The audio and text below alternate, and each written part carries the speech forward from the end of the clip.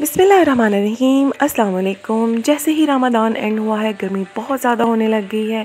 तो इस गर्मी का बेस्ट सोल्यूशन है फालसा जूस।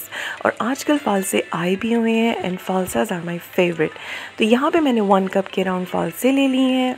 मैंने फ्रोज़न यूज़ किए हैं नॉर्मल भी यूज़ किए जा सकते हैं। थ्री टेबल स्पून के around sugar one glass water we need a blender as well इनको ग्राइंड करने के लिए।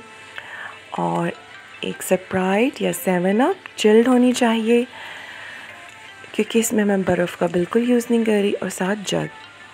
तो सबसे पहले हम फालसों को ग्राइंड कर लेंगे। मैंने यहाँ पे बड़े ब्लेड वाला ग्राइंडर इसलिए यूज़ किया है क्योंकि छोटे ब्लेड वाले जो ग्राइंडर होते हैं, उनको नहीं यूज़ करना चाहिए फालसों को ग्राइंड करने के लिए बिकॉज़ फालसे के सीड्स होते हैं काफ़ी स्ट्रॉन्ग तो हमारी जो ब्लेंडर है, उसके ख़राब होने के भी चांसेस हो सकते हैं। तो यहाँ पे मैंने वन ग्लास वाटर ऐड करके इसको ग्राइंड कर लिया। और फालसे किसके फेवरेट नहीं होते? मेरे तो बहुत फेवरेट हैं।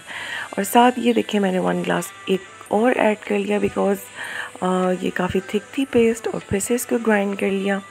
और इसको स्ट्रेन हम नॉर्मल वे से भी कर सकते हैं एक आम स्ट्रेनर से, लेकिन मैंने यहाँ पे चीज़ क्लॉथ यूज़ किया है ताकि इसके फुल एक्सट्रैक्ट्स निकल आएँ और अच्छे तरीके से प्रेस करके सारा जूस मैंने एक जग में ऐड कर दिया।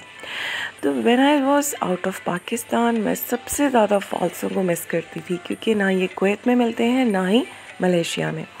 तो थ्री टेबल स्पून के अराउंड मैंने शुगर ऐड कर दी। अब मैं दूसरा ब्लेंडर यूज़ कर रही हूँ। स्मॉल ब्लेड्स ब्लेड्स वाला और शुगर ग्राइंड कर ली। देखिए, कितना खूबसूरत कलर है। और ईद के दिनों में जिस तरह से हम खाने वगैरह की रूटीन भी हमारी डिस्टर्ब हुई हुई है तो ये जूस हमारे डाइजेस्टिव सिस्टम को भी मेंटेन रखने में बहुत हेल्पफुल होगा। तो यहाँ पे मैंने चिल वाटर भी ऐड कर दिया, तकरीबन हाफ़ जग बाकी हाफ़ जग जो है वो फिल होगा सप्राइट या सेवन अप से। तो रिफ़्रेशिंग सा फालसा जूस हमारा रेडी है। इसको बनाएँ, ईद के दिनों में इंजॉय करें। Thanks for watching